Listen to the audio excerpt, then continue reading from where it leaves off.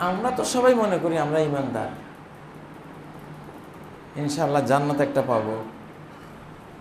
এটা হলো আমাদের কমন একটা ভাবনা যে আমি তো সলাৎ পড়তেছি। আমি তো নামাজি মানুষ, রোজাদারও আমি, হজও করছি। কেমন, ঠিক না? কিন্তু হাদিসের মধ্যে যে, হাদিস ঘাটলে যে ইমান খুঁজি পাই না।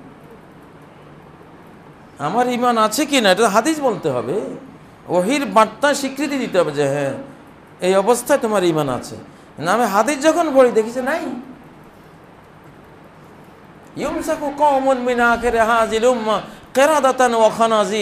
এই উম্মতেরই কিছু অনেক মুসলিমকে বানর শুকর বানানো হবে। সাবিরা বললেন আলাইসু ইয়াশহাদুনা আল্লা ইলাহা ইল্লাল্লাহ ওয়া আন্না মুহাম্মাদান রাসূলুল্লাহ। ওরা কি সাক্ষ্য দেয় না? আল্লাহ ছাড়া কোনো মাবুদ নাই। মুহাম্মদ সাল্লাল্লাহু আলাইহি ওয়াসাল্লাম আল্লাহ রাসূল। এটা কি সাক্ষ্য দেয় না?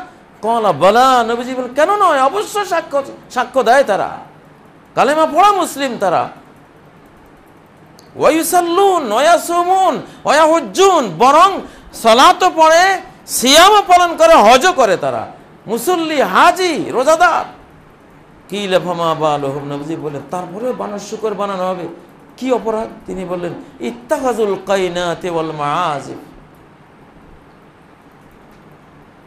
ওরা নিজের সংস্কৃতি বানিয়েছে, গায়িকা নায়িকার নাচ, গান, এগুলি দেখা, শোনা অল মাঝে বাদ্যযন্ত্র, ওদের ওদের জীবনের অনুষঙ্গ, গায়িকা নায়িকা, ওদের জীবনের অনুষঙ্গ।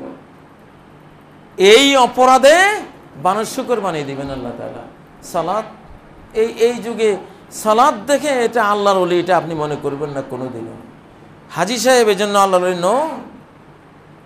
রোজাদার এই জন্য আল্লাহর অলি রমজানে একটা রোজা মিস এই জন্য আল্লাহর অলি না। উনি নিবৃত ঘরের রুমে বসে কি করেন? রিমোট কন্ট্রোল দিয়া, রিমোটটা দিয়ে কি করেন উনি? ওইখানে ওনার ইমানটা। ইমান হলো এখন চোখে আর কানে। ইমানের আলামত এখন চোখে আর কানে। তো সে যাই হোক, আমি কথাগুলি এই জন্য বলছি, আমরা যতই মুমিন বলে নিজেদেরকে আমরা আত্মপ্রসাদে ভুগি, আত্মতৃপ্তিতে ভুগি হয়তো আমার বক্তব্যের পরে কারও কারও ভিতরে বিদ্রোহ জমতেছে যে এটা কি এটা কি, হুজুর কি বলতেছে এগুলি? আমাদের কি ইমান নাই? আসতে পারে কারও মনে, কিন্তু ক্ষমা করবেন। আমি তো এই যুগটাকে দেখব হাদিসের আয়নায়। হাদিসের দর্পণে আমি দেখব যে নবীজি কি বলছেন আমার সম্পর্কে। উনি তো হাতের তালুর উপমা দিয়ে বলেছেন কান আনজুরু ইলা কাফি হাজিহি। আমি গোটা দুনিয়াকে দেখতে পাচ্ছি যেমন হাতের তালুর মধ্যে, হাতের তালুকে দেখতে পাচ্ছি। আইফোন হাতের তালুর মতোই তো হয়। স্যামসাং, অ্যান্ড্রয়েড হাতের তালুর মতো না? আল্লাহ ওনাকে এতটুকুতে গোটা পৃথিবী দেখিয়েছেন। তাবরানির হাদিস কান্নি আনজুরু, ইন্নাল্লাহ আরাদ আলিয়া দুনিয়া। আল্লাহ তাআলা গোটা দুনিয়া আমার সামনে তুলে ধরেছেন। ফানা আনজুরু ইলাইহা ওয়া ইলা মা হুয়া কায়নুন ফিহা। পৃথিবীতে কি আছে, কোন যুগে কি হবে, আমি সব দেখতে পাচ্ছি। যেন আমার হাতের তালুর দিকে তাকিয়ে আছে। তালুর উদাহরণ থেকে বোঝা যায় যে বর্তমান মোবাইল সেটমেন্ট যা আছে, এগুলি শুদ্ধ আল্লাহ তালা ওনাকে দেখিয়েছে এই সিস্টেমে দেখিয়ে দিয়েছেন মানে আমি যে কত পাক্কা ইমানদার, আমি তো এটা হাদিসে খুঁজে পেতে হবে। আমি যে ভয়াবহ অবস্থা দেখি কাল কবাদে আলাল জামার জ্বলন্ত আগুনের কয়লা, দাউ দাউ করে জ্বলছে আর আপনি সেটা মুষ্টি চেপে ধরে আছেন। এটা কি সম্ভব? ছেড়ে দিয়েছেন, ফেলে দিয়েছেন আপনি। এই অসম্ভব ইমান, ফেলে দিয়েছেন আপনি। কীভাবে আমি, ফরিদপুর শহরে আমি একদিন ঘুরলে পাঁচ হাজার মহিলা আমার সামনে পড় পড়বে, একটাকেও দেখা যাবে না, নজর নিচু করে রাখতে হবে। দশ বারোটার ক্ষেত্রে আমল করে, ধর বাবা পারতাম না, আল্লাহ এমনি মাফ করে দেবে। আল্লাহ যে হারে দয়ালু, যে রহমান রহিম, ইনশাআল্লাহ উনি মাফ করে দিবে। আপনারা শয়তানের ধোকা দিছে এই রহমতের, কিন্তু নবী তো এটা বলেন নাই। নবী তো বলে গেছে, নাই, তুমি লেস হয়ে গেছো। এখন ইমার্জেন্সি পিরিয়ডে ইমান বাঁচাইতে হবে। ইল্লা মান আহিয়া উল্লাহ বিল এই জন্য ফরিদপুর শহরে যাইতে কানের মধ্যে এরকম একটা ধরে রাখবেন। অথবা ইয়ারফোন আছে, একটা অ্যান্ড্রয়েড সেট সারাক্ষণ কোরআন হাদিস শুনবেন। যতক্ষণ বাইরে কোরআন হাদিসের সাথে থাকবেন। বাইরে জগতের সাথে থাকবেন না। আপনি থাকবেন, আপনার জগৎ হলো কোরআন, আপনার জগৎ হলো ওহির জ্ঞান, আপনি এটার সাথে থাকেন। তাহলে ইমানটা কিছুটা বাঁচবে। আমি এটা হাতে নিয়ে ঘুরি ওই জন্যই। আর যখন শুনি আয়াতগুলি, হাদিসগুলি, ওলামাদের বক্তব্যগুলি, টের পাই যে হ্যাঁ ইমানটা একটু একটু থাকতেছে, আলহামদুলিল্লাহ। মাইনাস তো হইতেছে প্রতি মুহূর্তে। মাইনাসের সাথে প্লাস মাইনাস তো হইতে হবে। শুধু মাইনাস হইতে থাকলে তো শেষ। আমরা তো আলেম, যিনি এলেম চর্চা করেন, তিনি তো যুগের ডাক্তার। অবশ্যই তিনি যুগের ডক্টর হইতে হবে তাকে। যুগের ডাক্তারি না করলে উনি কি করবেন জাতির? এতে এই যে এই যুগের ডাক্তারই করলাম আপনাদের সামনে। আমরা ইমানলেস। দুনিয়াতে বসে, দুনিয়াতে খুবই কল্পনা করলাম। আত্মপ্রসাদে ভুগলাম আমি পাক্কা ইমানদার। কবরে গিয়ে দেখি যে কিছুই নেই। এই সর্বনাশ হওয়ার হাত থেকে তো নিজেদের বাঁচাইতে হবে। ইউটিউবে যে এক চোখ বিশিষ্ট বাচ্চার ছবি দেখা যাচ্ছে এটা সম্পর্কে কিছু বলুন। দাজ্জালের জন্ম কি হয়ে গেছে? হ্যাঁ। সারা রাত নৌকা বেয়ে আসলাম সকালে ছিনা ভিজানোর পানি পেলাম। না একটু আগে কি বললাম? নু আলাইসাল্লামের আমল থেকে দাজ্জাল আছে। যুগে যুগে তার অনেক কীর্তি সে করে যাচ্ছে। বাচ্চা জন্ম হবে থেকে সে তো বুড়া এখন। ইবলিস যখন আল্লাহর কাছে বলল, কল আনজিরনি ইলা ইয়াউমি ইউবাসুন কেয়ামত পর্যন্ত আমাকে আপনি অবকাশ দিন দুনিয়াতে থাকার। কলা ইন্নাকা মিনাল মুনজারিন তুমি তাদের অন্তর্ভুক্ত, যাদেরকে কেয়ামত পর্যন্ত থাকার অবকাশ দেয়া হয়েছে, তাদের মধ্যে তুমি একজন। তাহলে কি বুঝে গেল? যে শুধু ইবলিস না, ইবলিসের সাথে আরও কিছু আছে, কেয়ামত পর্যন্ত তারা বেঁচে থাকার পারমিশন প্রাপ্ত হয়েছে। তার মধ্যে দাজ্জাল একজন। সে তো সে তখন থেকে আছে। এখন দাজ্জালের জন্মের কথা বলার দরকার নেই।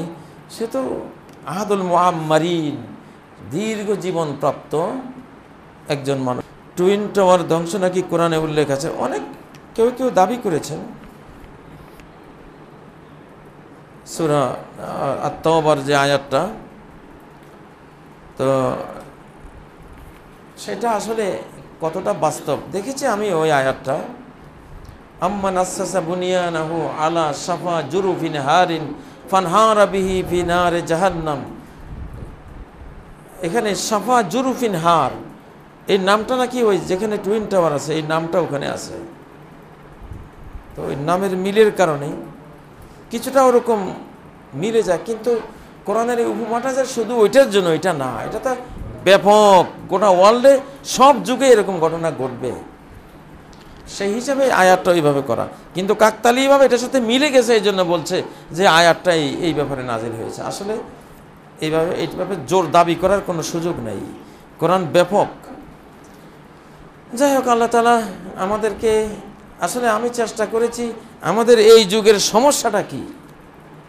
আমাদের মূল আমরা হারিয়েছি কি? সে হারানো বস্তুটাই আবার উদ্ধার করার আমাদের এখন প্রয়োজন। সেটা হলো আমাদের ইমান। আমাদের মূল দিনই চেতনা ফিলিংস ইমানের ইমানের সেই সেই সেই জাগৃতি সেই জীবন সেই জীবনটা আমাদের নিতে হবে।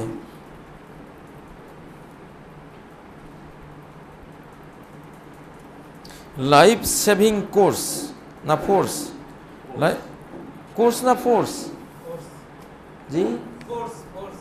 ফোর্স লাইফ সেভিং ফোর্স কথাটা কি ঠিক? এটা জাগতিক দৃষ্টিতে বলে লাইফ সেভিং ফোর্স কিন্তু মনের মধ্যে ইমানটা থাকতে হবে লাইফ সেভ করবেন কে?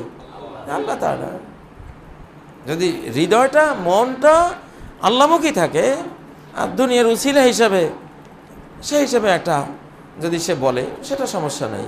কিন্তু যদি মন থেকেও মনে করে এটাই সব আমাকে সেভ করবে, তাহলে তো শিরিক হয়ে যাবে।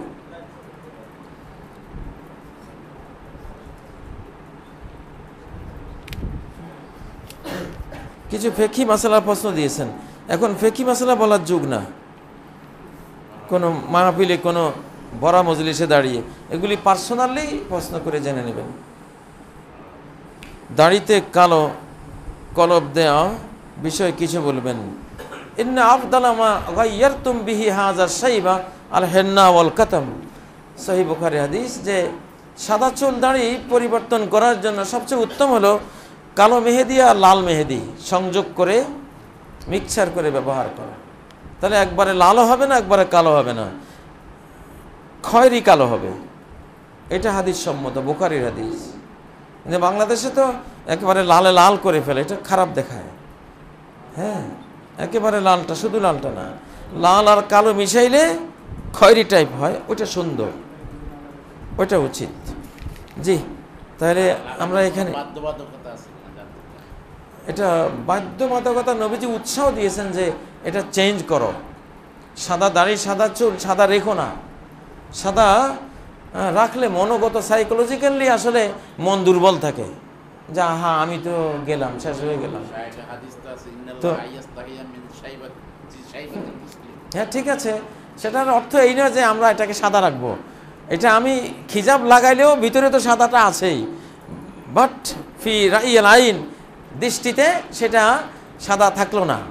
এটা একটা মানে রসিকতা ইসলামের সৌন্দর্য এটা আল্লাহর কাছে স্বীকৃত। এই জন্য এটা তো সহি হাদিস যে গাইয়ের সাইব সাদাকে চেঞ্জ করো, সাদাকে সাদা রেখো না, সাদাকে তোমরা খিজাব লাগাও।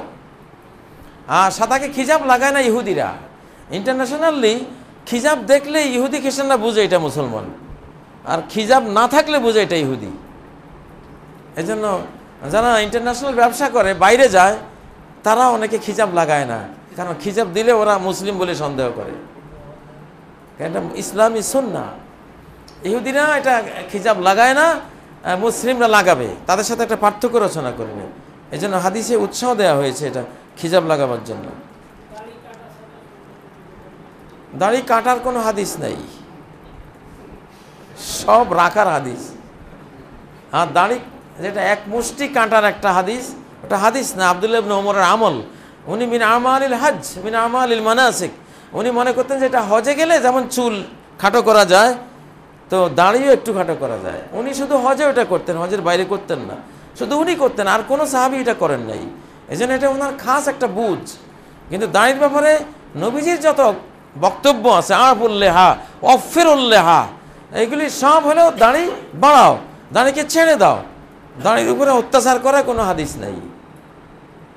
এটা পাই নেই। এই জন্য হ্যাঁ দাঁড়ি বেশি লম্বা হলে আপনি কিছু ডেকোরেশন করতে পারেন, সেটা ঠিক আছে। কিন্তু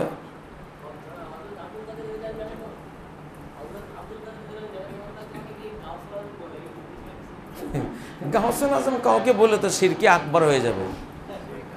কোনো মানুষকে গাউসুল আজম বলা যাবে না। সর্বশ্রেষ্ঠ সাহায্যকারী গাউসে আজমের অর্থ, এটা তো আল্লাহ তাআলা। কোন পীরকে গাউসে আজম তো দূরে থাক, গাউসে আজগারও বলা যাবে না। যাই হোক, আল্লাহ তালা আমাদের হেফাজত করুন।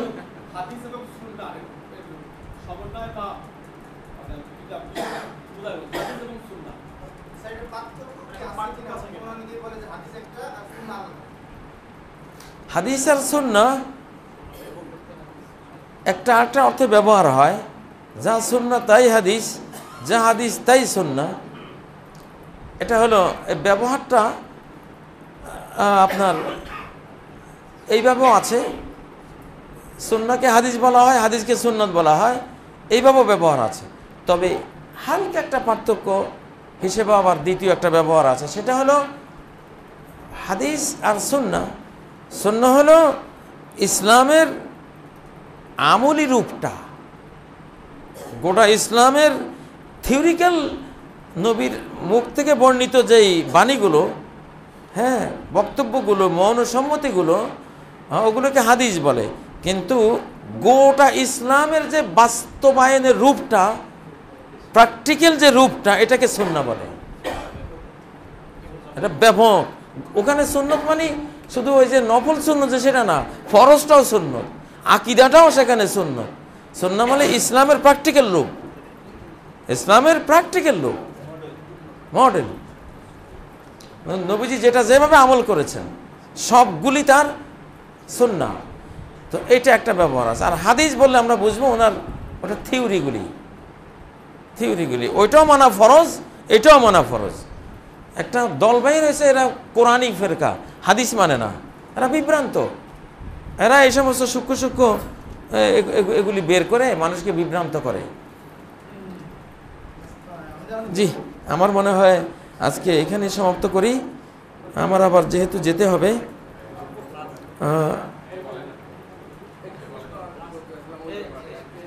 একটা, যে কোনো একটা প্রশ্ন নেব, আর না মানে ওই কোনো কোনো আলেমকে এখন আর কি বলতে শোনা যাচ্ছে তারা বলতেছিল যে নবী সাল্লাল্লাহু আলাইহি ওয়াসাল্লাম সুন্নাহকে আঁকড়ে ধরতে বলছে কিন্তু হাদিসকে না কিন্তু বেশ বড় বাংলাদেশে কম মাদ্রাসার বড় কিছু আলেম তারা এইগুলো কিন্তু বেশ দেয় নবী সাল্লাল্লাহু আলাইহি ওয়াসাল্লাম সুন্নাহকে আঁকড়ে ধরতে কিন্তু হাদিসকে আঁকড়ে ধরতে বলছে এখন এই ব্যাপারে আসলে সুন্নাকে আটকে ধরতে তো বলবেনই, কারণ সুন্নাইতে তো প্র্যাকটিক্যাল রূপটা। তো উনি ওনার দিনের প্র্যাকটিক্যাল রূপটাকে আঁকড়ে ধরতে বলবেন না। তো প্র্যাকটিক্যাল রূপটা আসলো থেকে সেটা তো হাদিস থেকে আসছে। আপনার থিওরি নেই, আপনার কোনো কোনো জ্ঞানের নীতিবাক্য থাকলে সে ওটাকে বাস্তবায়ন করলে ওটাকে আমরা বলি সুন্না কিন্তু জ্ঞানের মূল থিমটাই যদি না থাকে, মূল ঘোষণায় যদি না থাকে, মূল হাদিসটাই যদি না থাকে তাহলে সুন্না আসবে থেকে হাদিস থেকে তো সুন্নাটা আসবে। ওনার ওনার উনি যেটা মুখ দিয়ে বলেছেন, সেটাকে বাস্তবে রূপান্তরিত করলে বলব এটা সুন্না হয়েছে। কিন্তু মূল তো আসবে ওনার জ্ঞানের যে মূল ঘোষণা বাণী সেখান থেকে তো আসবে। বুঝলেন না? কয় যে কয় যে, ঘি তো এত মজা, দুধের কোনো দরকারই ছিল না। ঘি, এত স্বাদ লাগে ঘির পরোটা, এত স্বাদ। খাওয়াটা দুধের আর দরকার নাই। ঘি হইলে চলবে। বোকা কোথাকার? তুই দুধ ছাড়া ঘি পাবি কোথায়? তো হাদিস ছাড়া সুন্নত পাবি কোথায়? দুধ ছাড়া যেমন ঘি হয় না, হাদিস ছাড়াও কি হয় না? সুন্নত হয় না। এরা একটা থিওরিক্যাল একটা প্র্যাকটিক্যাল একটাকে আরেকটা বিরুদ্ধে দাঁড় করে দিয়েছে। এটা বেকুব না? থিওরিক্যালটাকেই তো আমি যখন প্র্যাকটিক্যাল করব, সেটার নাম হবে সুন্না এখন থিওরি যদি না থাকে, আমি প্র্যাকটিক্যাল করব কি জিনিসটা? গোয়ার ডিম প্র্যাকটিক্যাল করব? আরে, শুনেন, আমি বলছি না, এই যুগের মানুষের আক্কল নাই। আকল উড়ে গেছে। বিবেক না কি যে কথাবার্তা বলে। এগুলি শুনলে হাসি পায়, যাই হোক। তো আল্লাহ তালা আমাদেরকে, আমাদের আজকের আয়োজন কবুল করুন। বন্দার ইচ্ছা ছিল ওইখানে কোথায়? প্রোগ্রাম হবে আর আল্লাহর ইচ্ছা ছিল এখানে হবে এখানে হয়েছে। তো আল্লাহ তালা আমাদের এই প্রোগ্রাম কবুল করুন। আমরা কাফারাতুল মজলির দোয়া পড়ে সমাপ্ত করছি। সুবাহিক আসাদু আল্লাহ ইলাহ ইল্লা আন্ত আতুবু ইলাইক। আসসালামু আলাইকুম ওরহমতুল্লাহ বারাকাতুহু।